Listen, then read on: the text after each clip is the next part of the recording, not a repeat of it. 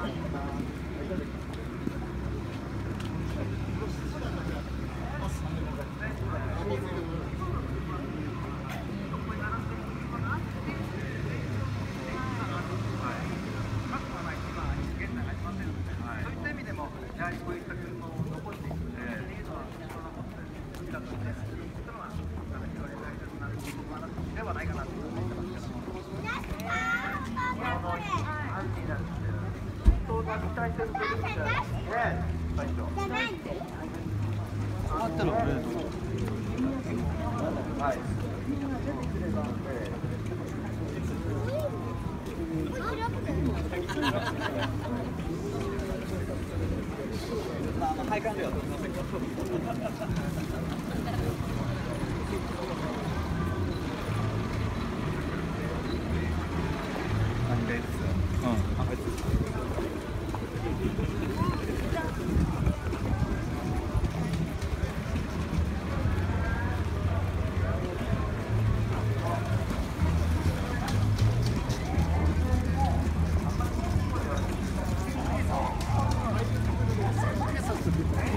とかの税金上げるとか、そういう嫌がらせ的なことをやるでしょ、小賢しいこと、あれよくないですよね。あの外国ですと、ある程度年数古くなって逆に税金安くなります。はい。ちょっとお願いしますよ。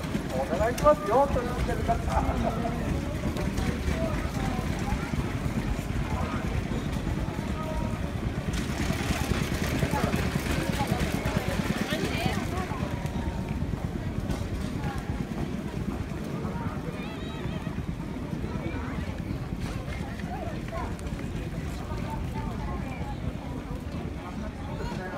のめり込んでいらっしゃる方っ